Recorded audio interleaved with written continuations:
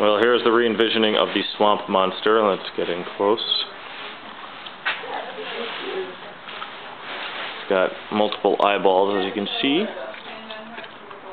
And to paint him, we used a semi-gloss outdoor exterior paint. We flooded on some red mahogany stain, wiped it off, and then dry brushed on a whole shitload of other colors. So,